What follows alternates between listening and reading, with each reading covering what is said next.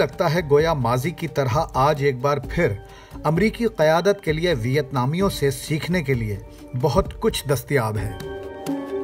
30 अप्रैल सन 1975 शुमाली वियतनाम की कम्युनिस्ट नवाज़ मुसल्ह अफवाज जनूबी वियतनाम के दारुल हुकूमत साइगॉन में दाखिल हो जाती हैं। टैंकों का रुख अमरीकी सिफारत खाने की जानब होते होते मुकामियों और अमरीकियों समेत तमाम के तमाम सिफारती अमले को हेलीकॉप्टर्स के ज़रिए महफूज मकाम की जानब फरार करा दिया जाता है।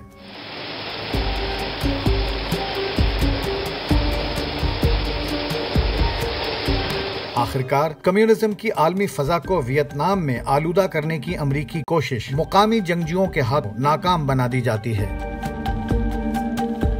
माह मई, शिकस्त खोरदा अमरीकियों की वियतनाम से वापसी की शुरुआत का महीना था।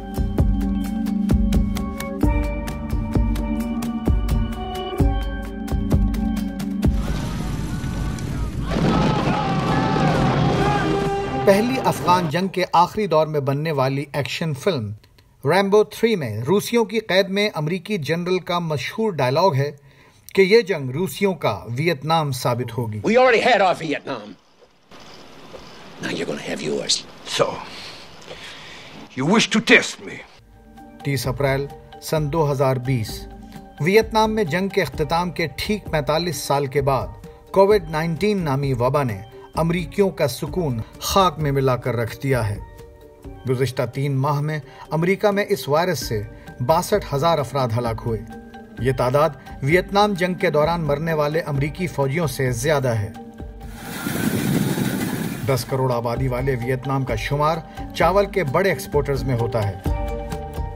अमेरिका की तरह इसके पास हथियार और दौलत तो नहीं, सेहत का निज़ाम भी आला मैार का नहीं, लेकिन इस कौम के पास हमेशा की तरह आज भी हुब्बुल वतनी का बेश बहा जज्बा और एक आला क़यादत मौजूद है। और शायद यही वजह है कि वियतनाम में कोरोना वायरस से अब तक एक भी शख्स की मौत वाक़ नहीं हुई। वॉशिंगटन पोस्ट के एक आर्टिकल के मुताबिक, वियतनाम का कामयाबी से कोरोना का मुकाबला करना अमेरिका के लिए एक और सबक है।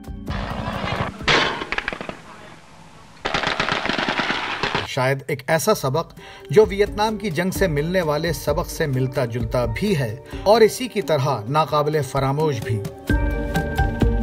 खास बात यह कि अमेरिका को सालों पहले शिकस्त देने वाली शुमाली वियतनामी फौज की पुष्ट पनाही कम्युनिस्ट चीन और रूस कर रहे थे।